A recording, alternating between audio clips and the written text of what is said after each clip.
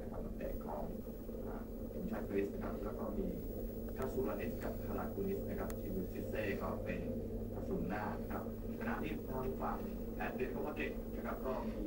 ทั้งดิเอโกฟอร์ลันนะครับเซร์คิโออาเกโรนะครับมีราอูลการ์เซียนะครับมักซี่โรดริเกซซึ่งก็เป็นเตะทีมชาติอาร์เจนตินานะครับแล้วก็ยังมี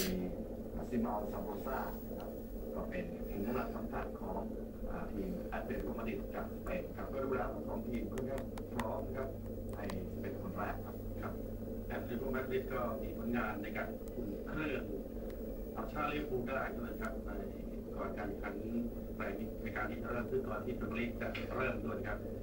ชนะลิเวอร์พูลได้สองต่อหนึ่งก็ถือว่านี่เป็นนัดแรกอย่างเป็นทางการของทั้งสองทีมนะครับเพราะว่าลีกตัวเองยังไม่เปิดครับครับโดยสเปนนั้นก็จะเริ่มต้นในสุด นี้นะครับ